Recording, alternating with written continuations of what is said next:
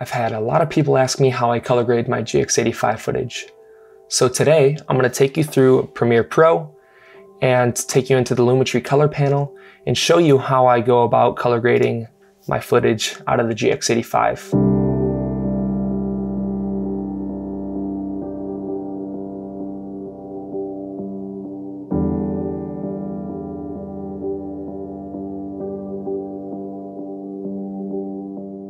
So we have Premiere opened up. I'm gonna just start a new project for the sake of this video. We're gonna create a new sequence,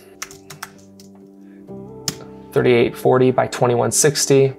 Uh, I like working on 4K timelines with all of my footage now uh, to bypass YouTube compression since a lot of the uh, work I'm uploading is going straight to YouTube. Even if it's uh, shot with some 1080 cameras, I like to upload in 4K to bypass uh, YouTube's heavy compression on 1080p files. Right off the bat, you can tell that the GX85 footage looks great. This is all shot in natural, negative 5 on everything besides saturation. I keep saturation at negative 3, like I previously discussed in my last video. Many people think that you should create your own looks when creating your video, and I think that's a great idea, but I also think it's a great idea to use LUTs. I don't know why people think that it's a sin because I think it's a beautiful way to get your footage to a good starting place and tweak from there. Let's use this shot. Uh, we have skin tone for reference. I think this will be a good shot since we have a skin tone uh, in the frame and it'll be a good reference to see how the colors react to skin. First of all, we're gonna balance this image. In Premiere's Lumetri color panel, I take the white balance picker and I click on a neutral spot we're gonna click on my wife's white tank top and sometimes it works, sometimes it doesn't. And in this case, uh, it seemed to uh, create a little bit warmer of an image and I think it actually looks really good.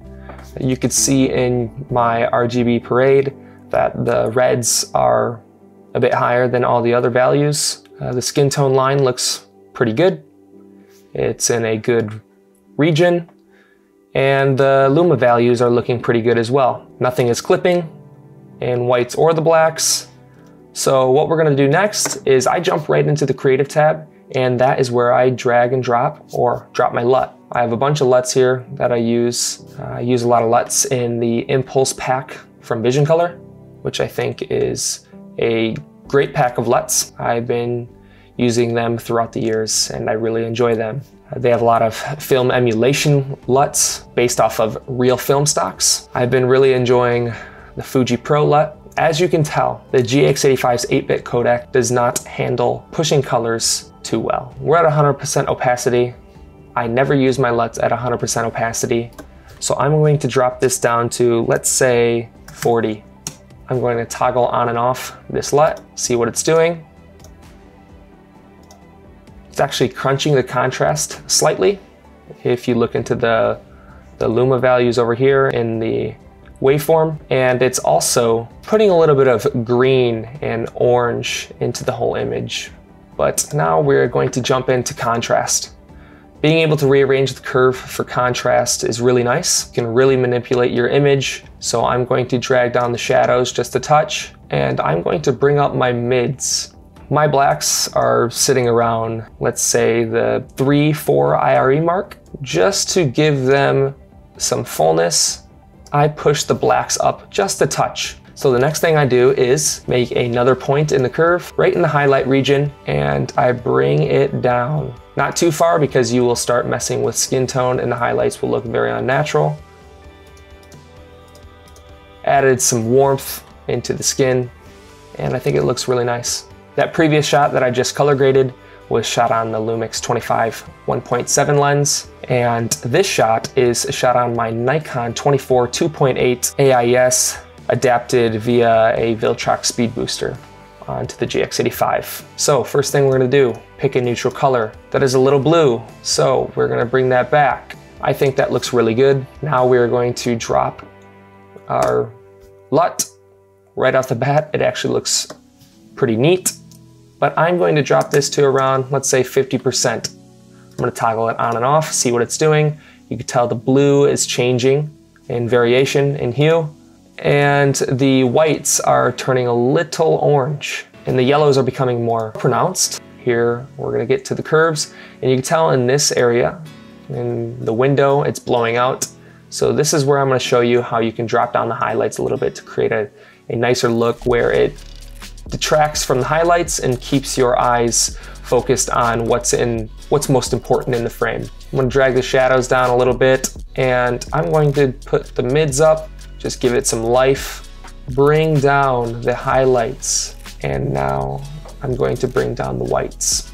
Bring the highlights a touch. It creates a, a nicer looking fall off uh, between highlights and mids and and we are going to bring down the shadows just a touch more and we are going to push the blacks up just a bit. I'm gonna toggle everything on and off. It might look a little pink, so we'll bring some more green back into the image. I think that looks really good.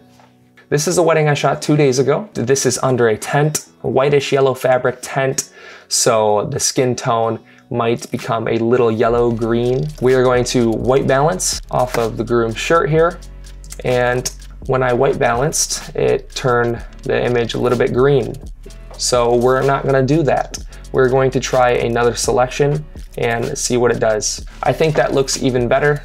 And this time, I'm not even gonna use LUTs. I'm going to just use curves and hue versus sat or the hue saturation curve in the Lumetri panel. Right off the bat, this image is really clean, looks really nice.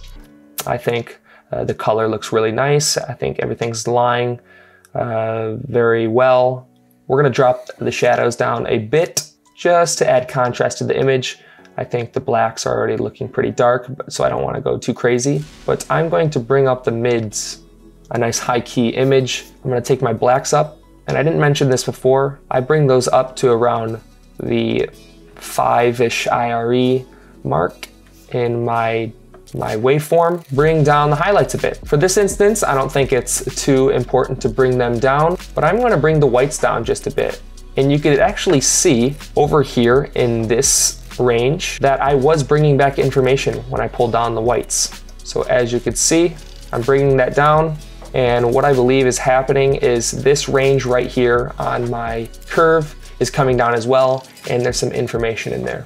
What I'm gonna do now is I'm going to take out some of that yellow saturation from the image. So I can pick and, and bring back some of the greens too to create a certain look, real trendy look amongst wedding photographers and uh, some wedding cinematographers. You can also bring down some of this yellow as well. Before and after, I think that looks really good. I can even bring down the shadows just a touch more. And I am pretty happy with this image. I tried to focus in on the couple by subtracting some of the yellow and the green from the image to keep your eyes focused on them. So I'm gonna show you what I did to this footage to get it where it looks as of this moment. I'll show you my base correction. Let me toggle this on and off. Right off the bat, that looks really good. Straight of the camera, natural, the previous settings that I mentioned, I could have probably gone without even color grading this shot. I wanted some consistency throughout the video, so I used the same LUT and tried to color grade everything uh, very uh, in a very similar fashion. For it to look the same, uh, I pumped up the exposure a bit and added a touch of warmth before, after, before, after. My creative tab, I use the Fuji 400 Pro LUT and I use it at 60% opacity. In this situation, I dropped the mids a bit to probably bring some of that information back there. And I pushed the blacks a bit and the highlights are actually raised, probably to give this whole image a little bit more contrast because if I do this, the mountains start fading away again. This will bring the mountains back out. And that is what I did to achieve that look. Very simple. It takes me just a minute to color grade a clip. So I hope what you saw today was a little helpful uh, for color grading on the GX85, maybe even color grading in general on any camera, so you can achieve a similar look to some of the looks that I created uh, in some of my videos. And if you have any other questions, please just drop them in the comments below or Instagram message me and I'd love to talk about those things with you. Please, if you haven't and if you are interested in more GX85 video and GX85 subjects and topics, please subscribe, like this video, and I hope to see you next time.